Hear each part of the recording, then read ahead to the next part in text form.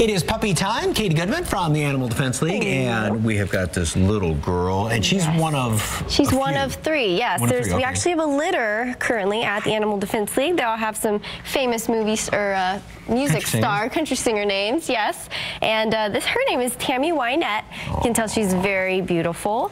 Uh, she's a terrier mix. I know it's yeah. that puppy fur, but oh my goodness, this is like Yes. silk. Yeah, super soft. She kind of she's gonna she's gonna be one of those small dogs that looks like a big dog kind of thing. You know, that just stays kind of small, about 20, 30 pounds. Very pretty, very sweet. Definitely active as well. Oh, and one thing, always remember with puppies, you get one, get lots of stuff, their own Yes. toys to chew on so they don't pick up an edge of a carpeting or your house slippers or something like that. Yes, especially something that's going to kind of help to stimulate their minds. Things that are like little puzzles for them, Kongs where you can stuff with food, things to keep them busy.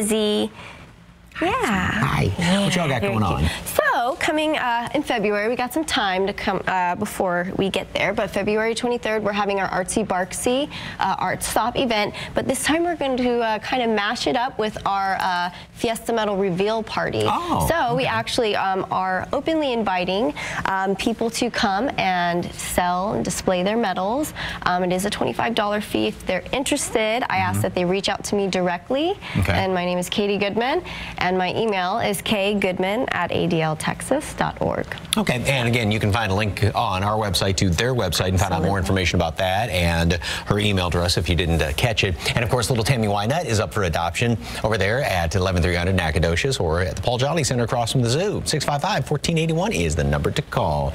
Yeah, little puppy belly too. So thank you, Katie. Thank you. No doubt.